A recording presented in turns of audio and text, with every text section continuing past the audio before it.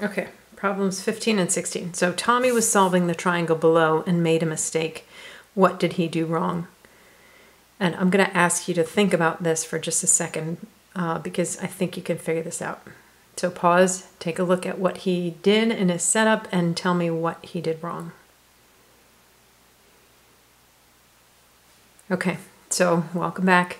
Um, what he did wrong was this is our angle of reference right here, and tangent is opposite over adjacent.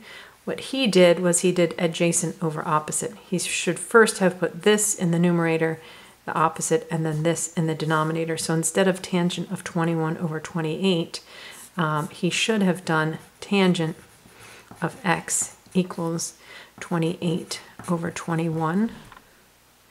Then when he takes tan inverse of both sides, again, tan inverse and tangent will cancel out, so we just get x. And then with your calculator, you do tan inverse of 28 divided by 21, and you would get x equals 53.1 degrees. Right, so his error was instead of doing opposite over adjacent, he did adjacent over opposite.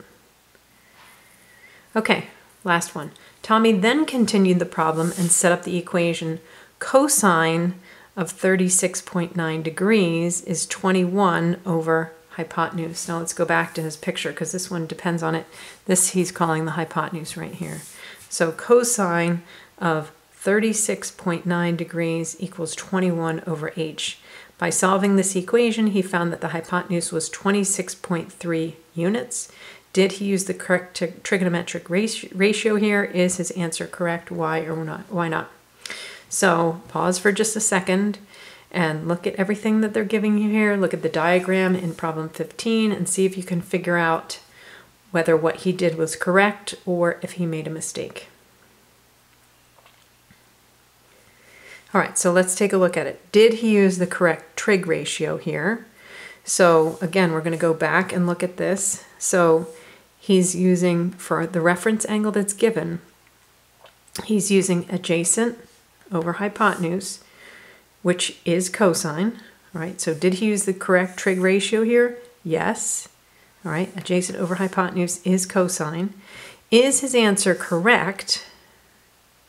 And the answer to that should be no, because he got the wrong answer right here in the last problem, but he continued to use it, right? So this angle right here is actually not 36.9 degrees like he's saying, it's actually 53.1.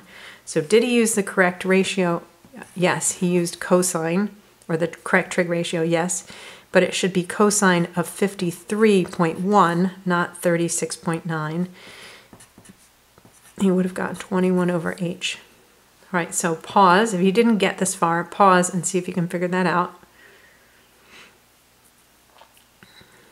All right, I'm going to use one of Fred's five favorite tricks here and just interchange those two right there. So this is the same thing as h equals 21 over cosine of 53.1.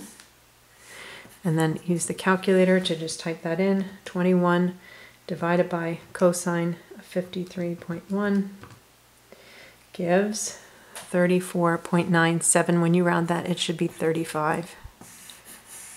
Right, so that is the correct answer. Again, because he made an error in problem 15, which he then carried over to problem 16.